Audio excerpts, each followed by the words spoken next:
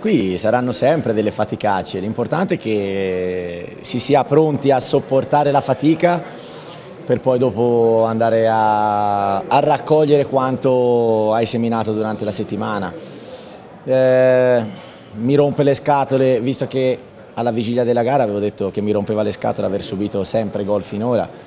oggi mi rompe le scatole aver concesso una palla gol nitida su una palla lunga con una superiorità numerica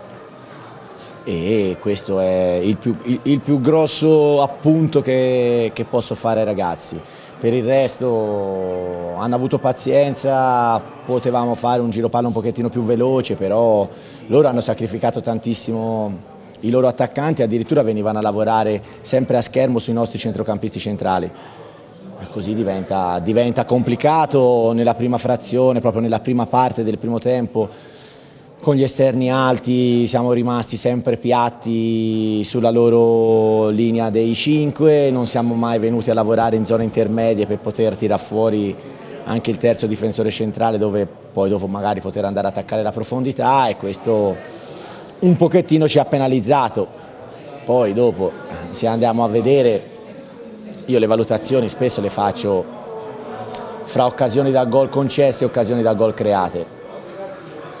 sulla legittimità della vittoria ragazzi credo ci sia poco da dire, poi su come è venuta, sugli episodi, sulla qualità di quello che si poteva fare, magari lì allora vi divertirete potrà essere anche motivo di discussione, però sulla legittimità della vittoria non credo che ci sia niente da dire. Sì, volevo uno che avesse la sua qualità nel servire compagni, che andasse un pochettino a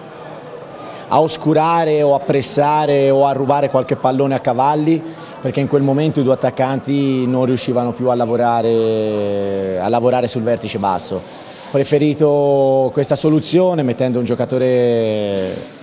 che ha grande qualità, che ha grande qualità individualmente ma che la mette sempre a disposizione dei compagni, tant'è vero che tutte le occasioni create da lì in poi c'è sempre stato lo zampino suo, quindi è stato veramente determinante al pari anche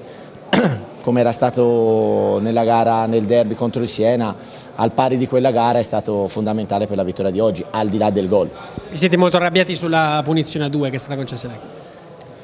Ci siamo arrabbiati perché non è che impazzisce Massimiliano e va a prendere una palla con le mani, l'ha presa perché c'è stato un tocco evidente e sonoro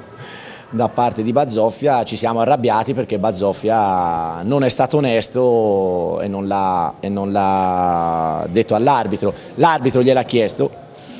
nel momento in cui gliel'ha chiesto e Bazzoffia ha detto di no, ha concesso la punizione.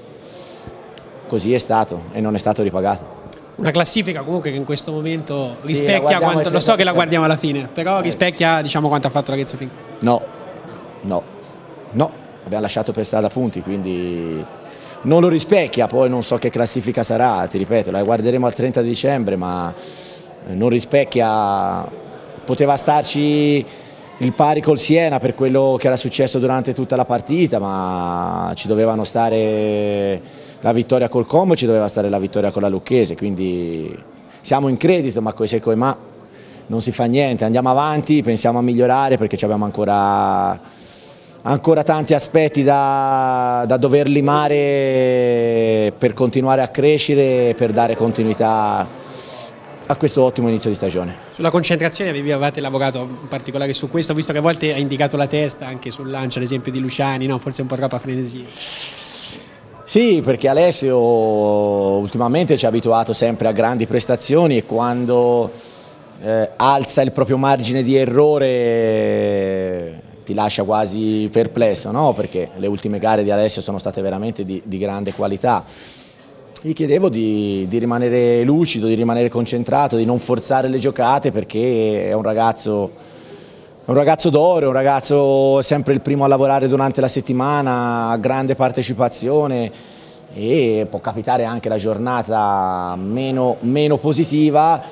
in quel frangente lì non si deve far condizionare dall'errore. Ho detto stai lucido, stai calmo, stai sereno, gioca perché sai giocare a calcio.